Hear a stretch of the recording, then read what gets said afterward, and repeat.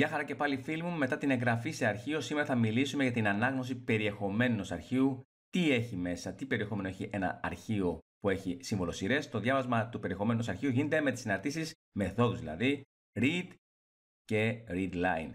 Το read διαβάζει ανάλογα σε ποια θέση, σε ποιο σημείο βρισκόμαστε στο αρχείο, παίρνει ένα νουμεράκι μέσα και το read line είναι για κάθε γραμμή. Πάμε να δούμε η λειτουργία της συνάρτησης read πρώτα. Να εδώ πέρα έχω το shell της Python, ένα αρχείο test spy, ωραία, το οποίο γράφει Σπύρος Ζιγούρης. Ανοίγω με ένα αντικείμενο, open, πάντα με αυτό αρχίζουμε, ωραία, και μέσα στην open βάζουμε το αρχείο σε αυτάκια, κοιτάξτε και μετά σε μέθοδο προσπέλασης read και μετά πατάω f.read και μου βγάζει κατευθείαν Σπύρος Ζιγούρης, ό,τι έχει μέσα, έτσι. Αυτό είναι τόσο απλό η μέθοδος read διαβάζει ένα πίδος χαρακτήρων από την τρέχουσα θέση, στην αρχή είναι 0, μέσα στο αρχείο. Πολλές φορές δέχεται την παράμετρο count, read count, όπου count είναι ένα νούμερο. Ένα νουμεράκι το οποίο καθορίζει τον αριθμό των χαρακτήρων που θα διαβαστούν από την τρέχουσα θέση μέσα στο αρχείο. Παραδείγματος χάρη, κοιτάξτε εδώ πέρα, αν πατήσω fopen test.py.txt σε αυτάκια, read, με το προσπέλασης για διάβασμα και κάνω ένα χαρακτήρα, μια μεταβλητή, να εκχωρηθεί το αποτέλεσμα της f, το αντικείμενο, δηλαδή του αρχείου, .read2, θα μου βγάλει, κοιτάξτε εδώ πέρα, το s και το sp. Print ch είναι s και p. Είναι, κοιτάξτε, δύο χαρακτήρες. Ένα, δύο. Εδώ πέρα. Αν τώρα πατήσω print f read 5, κοιτάξτε, εδώ πέρα, τότε θα πάρουμε τους χαρακτήρες τους επόμενους 5. Θα πάρω το YROS και το κενό. Κοιτάξτε εδώ πέρα και το κενό. Πολύ εύκολο και αυτό. Αν πατήσω τώρα print f read κενό χωρίς το count μέσα, χωρίς το νούμερο, τότε θα μου εκτυπώσει το υπόλοιπο, έτσι. Τι απομένει, το ζυγούρις. Αυτό είναι. Πολύ απλή η συνάρτηση read, ωραία. Αυτό το ξέρουμε. Υπενθυμίζω ότι το count, το νούμερο που βάζουμε μέσα στη read, καθορίζει τον αριθμό χαρακτήρων που θα διαβαστούν από την τρέχουσα θέση μέσα στο αρχείο. Εδώ πέρα, κοιτάξτε, έχω read 2, άρα καθορίζει τον αριθμό των χαρακτήρων 2 χαρακτήρες. Μετά 5 χαρακτήρες μετά το υπόλοιπο, αν δεν έχει αριθμό μέσα. Να το δούμε άλλη μια φορά, πάλι αντικείμενο open test spy txt σε αυτάκια, μέθοδο προσπέλασης read, ωραία, ανοίγουμε το αρχείο test txt για ανάγνωση και το αρχείο αυτό αντιστοιχεί στο αντικείμενο f. Έχουμε χαρακτήρας ίσον αντικείμενο .read2, διαβάζει τους δύο πρώτους χαρακτήρες, κοιτάξτε το count είναι το 2 τώρα. Print ch εμφανίζει τους δύο πρώτους χαρακτήρες, ωραία, SP. Μετά πριν f.read 5, 5, διαβάζει τους επόμενους 5 χαρακτήρες και τους εμφανίζει το YROS και το κενό. Και μετά print f.read χωρίς count μέσα, χωρίς το νούμερο, διαβάζει τους υπόλοιπους χαρακτήρες και τους εμφανίζει. Πολύ απλό, προχωράμε. Να δούμε τώρα ένα αρχείο το οποίο έχει πολλές γραμμές. Εδώ πέρα, κοιτάξτε, έχω Σπύρο Ζιγούρη, Θεοδόρα και Γεώργιος. Πολύ ωραία. Πάμε να δούμε ανοίγω πάλι με ένα αντικείμενο open test by 2 txt σε αυτά και να μην τα ξεχνάμε. Μέθοδο προσπέλασης read ανάγνωση.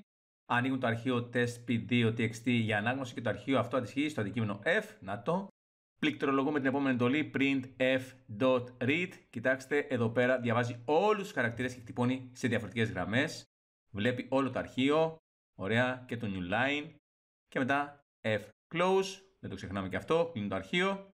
Ανοίγω πάλι, ανοίγει πάλι το ίδιο αρχείο για ανάγνωση, να εδώ πέρα, προσπέραση read και η εντολή f.read, το αντικείμενο να διαβάσω, κοιτάξτε, διαβάζει όλους τους χαρακτήρες και τους εμφανίζει σε μία γραμμή με το χαρακτήρα νέας γραμμής, το new line.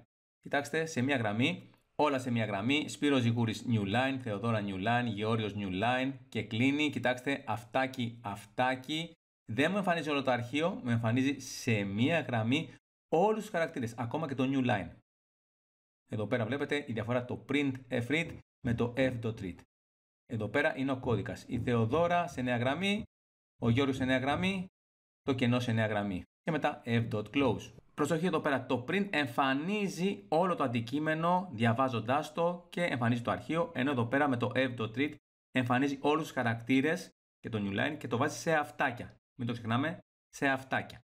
Και μετά τη συνάρτηση read πάμε να δούμε τη λειτουργία της συνάρτησης readline. Η μέθοδος readline διαβάζει χαρακτήρες από την αρχή του αρχείου μέχρι να συναντήσει το χαρακτήρα νέας γραμμής, το new line εδώ πέρα, το backslash και το n Ωραία, δηλαδή διαβάζει μια γραμμή του αρχείου, μια line του αρχείου, μέχρι να συναντήσει το χαρακτήρα νέας γραμμής, το new line.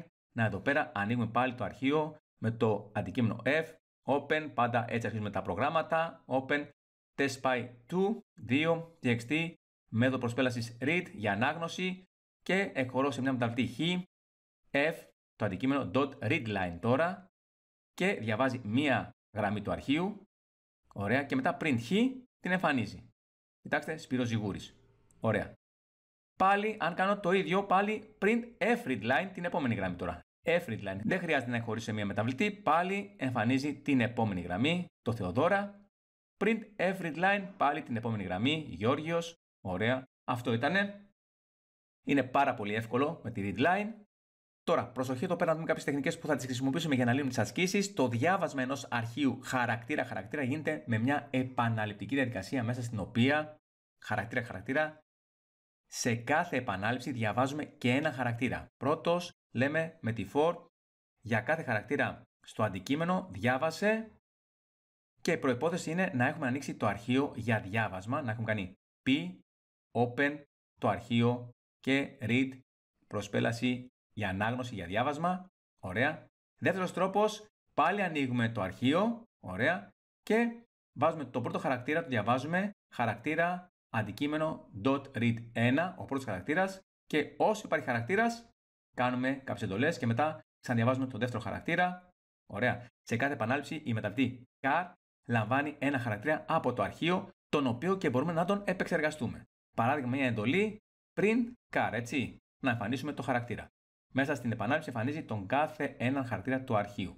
Το διάβασμα, η ανάγνωση όμως ενός αρχείου γραμμή-γραμμή γίνεται με μια επαναληπτική διαδικασία πάλι μέσα στην οποία, κοιτάξτε, σε κάθε επανάληψη διαβάζουμε και μία γραμμή. Άρα δεν έχουμε read εδώ πέρα, έχουμε read line. Έτσι. Πολύ ωραία. Με τη for, με την τομή επανάληψη, έχουμε for line για κάθε γραμμή in υπαρξιακός τελεστής αντικείμενο dot read line. Διαβάζουμε και κάνουμε κάποιες εντολές. Προπόθεση είναι να έχουμε ανοίξει το αρχείο πάλι για διάβασμα. P, open, το αρχείο, ωραία, και με τη while, εκτός της for, πάλι ανοίγουμε το αρχείο, διαβάζουμε την πρώτη γραμμή του αντικειμένου με τη read line και όσο υπάρχει γραμμή, τότε κάνουμε κάποιες εντολές και μετά ξαναδιαβάζουμε πάλι line, p, τη read line, την επόμενη γραμμή. Σε κάθε επανάληψη, είτε εδώ είτε εδώ, σε κάθε επανάληψη μεταβλητή line λαμβάνει μία γραμμή από το αρχείο, την οποία κάθε γραμμή μπορούμε και να την επεξεργαστούμε. Παράδειγμα, μία εντολή print line μέσα στην επανάληψη εμφανίζει την κάθε γραμμή του αρχείου. Και προσέξτε έναν άλλο τρόπο για να διαβάσουμε μια γραμμή, πάλι με τη for, είναι για κάθε γραμμή στο αντικείμενο, πάλι in p, τότε εκτελούμε κάποιες εντολές. Αυτός είναι πιο βολικός ο τρόπος. Θα το δούμε και στις ασκήσεις. Πρώτη άσκηση, το αρχείο TMP General.txt, αρχείο κειμένου, περιέχει 31 θερμοκρασίες του μήνα Ιανουαρίου σε διαφορετική γραμμή η κάθε μία. Να συμπληρώσει τα κενά στο διπλανό πρόγραμμα. Να το πρόγραμμα εδώ πέρα. Θα δούμε τι κάνει ώστε να υπολογίζει και να εμφανίζει τη μέση θερμοκρασία του μήνα Ιανουαρίου. Πολύ ωραία. Έχω εδώ πέρα τη συνάρτηση. Θέλω τη μέση θερμοκρασία, άρα αυτό πάει κάτω εδώ πέρα. Ωραία. File days είναι παράμετρος γιατί δεν έχω αυτάκια, άρα μπαίνει εδώ μέσα το αρχείο. Διαβάζουμε το αρχείο, το αντικείμενο μπαίνει εδώ πέρα για κάθε γραμμή του αντικειμένου. Ωραία. Προσθέτουμε τη γραμμή στο άθροισμα. Ωραία. Το κάνουμε float γιατί είναι string μέσα η γραμμή. Και μετά το κλείνουμε το αντικείμενο και μετά κάνουμε return, επιστρέφουμε το άθροισμα προς όλες τις μέρες και μετά πριντάρουμε τη μέση θερμοκρασία. Αυτό εδώ πέρα, εύκολο. Αν το τρέξω, κοιτάξτε, πάλι το ανοίγω το αρχείο και μου βγάζει μέση θερμοκρασία είναι 16,16. Πάμε στην επόμενη άσκηση. Δεύτερη άσκηση, να γραφεί πρόγραμμα το οποίο θα εμφανίζει το περιεχόμενο του αρχείου tmp tem2txt. Πολύ εύκολο, ανοίγω με το αντικείμενο open το αρχείο, διάβασμα, read για κάθε γραμμή στο αντικείμενο, print line και διαβάζουμε και μετά το κλείνουμε το αντικείμενο και αν το τρέξω να ο κώδικας, να το παίρνω το αρχείο και μου εμφανίζει κάθε γραμμή του αρχείου, έτσι. Πολύ εύκολο. Τρίτη άσκηση, να γραφεί πρόγραμμα το οποίο θα διαβάζει το όνομα ενός αρχείου. Να το hero input, δώσε όνομα του αρχείου, το εχωρούμε στο χ, μια μεταβλητή. Θα εμφανίζει το περιεχόμενο του αρχείου και τον αριθμό των γραμμών του αρχείου, το πλήθος. Εύκολο, διαβάζουμε, κοιτάξτε, το όνομα του αρχείου, το χρώμα στο χ. Μπορώ να βάλω και όλο το path. Ωραία. Και έχω αντικείμενο open χ. Έχω παράμετρο, δεν βάζω εδώ πέρα αυτάκια. Ωραία. Είναι η μεταβλητή. και read, διάβασμα, ωραία, count, πλήθος 0, για κάθε γραμμή στο αντικείμενο, επανάλαβε τώρα, τι κάνεις, print line και μετά αυξάνεις το count κατά 1 και μετά εκτός της for print το πλήθος των γραμμών είναι count, εύκολο. Και κλείνουμε το αντικείμενο.